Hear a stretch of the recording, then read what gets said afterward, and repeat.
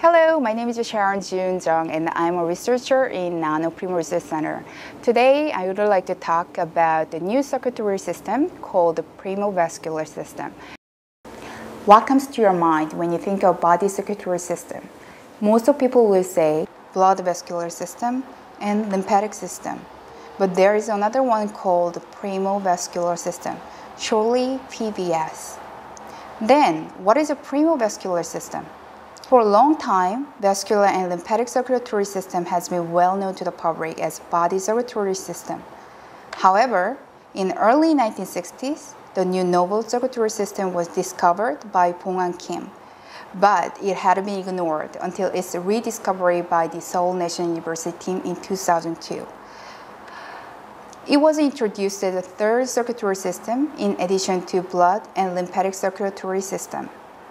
And it is an anatomical structure corresponding to the acupuncture meridians. Then, where can we find the third system in our body? The PVS is a complex network distributed in various parts of an animal's body. Here are some images of PVS distributed in brain, internal organs such as our heart, liver, and inside of vessels. Why do we think this work is necessary? Although its existence was confirmed, until now many people wonder whether this vascular system is imaginary or real due to the many barriers existing in carrying out the experiment, such as reproducing the same result as our original experiment. So we felt it necessary of writing detailed protocol for the other researchers to obtain primo vascular system tissue and make them to challenge to identify the relevant molecules that may be exploited as markers for the vascular system endothelium. Second, because vascular system is very transparent itself, it is very hard to visualize in bare eyes, so it requires much skill and technical know-how to observe during the experiment. Why did we specifically choose to visualize a vascular system floating in a lymph flow? Among the vascular system found in various parts of body, we focused to detect and image the thread-like structures floating freely in the lymphatic flow in the lymph vessel, because based on two reasons, which are it is the most convincing demonstration method of vascular system.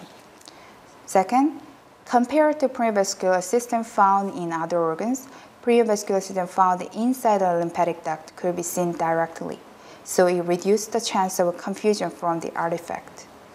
Prepared Prussian blue will be injected into bilateral lumbar node in abdomen using a syringe. After injection, wait for the dye to travel along the lymph vessel. With all these procedures, what could we observe? With the aid of staining dye, the presence of the vascular system has been impressively demonstrated as a thread-like structures floating in lymphatic flow. It was observed in the large caliber lymph duct near the caudal vena cava over red. After a certain period of time, the stained vascular system washed by natural lymph flow will emerge. You could easily observe the freely floating thread-like structure inside of lymph duct. Here is the picture. It shows a stained vascular system. Check for the site of the vessel passes through the lymph valve or the branching of the lymph duct with the vascular system. Here is a short movie, shows a free movement of primo vessel inside the lymph duct. How do we distinguish vascular system from others? To prevent confusion with other artifacts, we have testing the distinct characteristic of vascular system using DAPI and followed in followed by immunohistochemistry analysis. Mainly, we tested these three things. First, shape of endothelial nuclei. Second, a bundle of several subvessel structure of primo vessel. Third, primo vessel's elasticity. The vascular system can be identified positively by observing the distribution of nuclei in the longitudinal section to distinguish the vascular system from blood, and lymph vessels. The nuclei of the endothelial cells of primo vessels are arranged in the fashion of parallel broken lines and they are rod-shaped, about 10 to 20 micrometer in length. These features can be easily checked with a DAPI staining. Then next, check for the elasticity. The usual thickness of a primo vessel is about 20 to 30 micrometer. If it is thicker than 50 micrometer, it is likely that it is aggregated with lymphocyte and fibrin. If the size is correct in a range, this blue thread-like structure should be tested for its elasticity in order not to be confused with an artifact. Lines temporarily formed by staining dye aggregations which are easily crushed to pieces by shaking lymph duct. Immunohistochemistry analysis data clearly shows that primo vascular system is different from others. The immunostaining with EMP3 positive revealed that the outer part of the vascular system are composed of epithelial cells, while VWA positive staining shows that the inner cells are endothelium nature. In this image, the yellow arrowhead shows those results.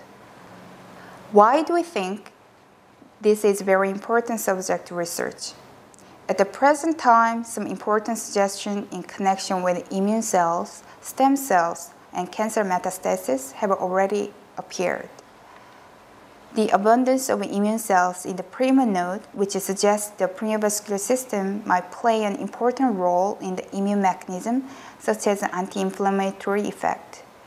Here is the supporting data of this statement, which was published in Cytokine in 2012. The vascular system genesis around the cancer tissue and its possible role as an additional path for the cancer metastasis. The abundance of catecholamine-producing cells in the vascular system has led to conjecture of the hormone conduit function. Lastly, the primo microcells are postulated to be the embryonic like adult stem cells. The main function of primo microcell is regeneration in damaged tissue. In this short video, I can explain all the details, but lastly, I would like to emphasize the significance of this work. This step-by-step -step work will lead us to expand the range of the vascular system observation for fully tracing the vascular system network to reveal its connection with the other class of vascular system. And at the same time, want to develop a molecular level understanding of the structure and the function of a vascular system by following a path similar to that followed in the development of the lymphatic system, the LIVE one.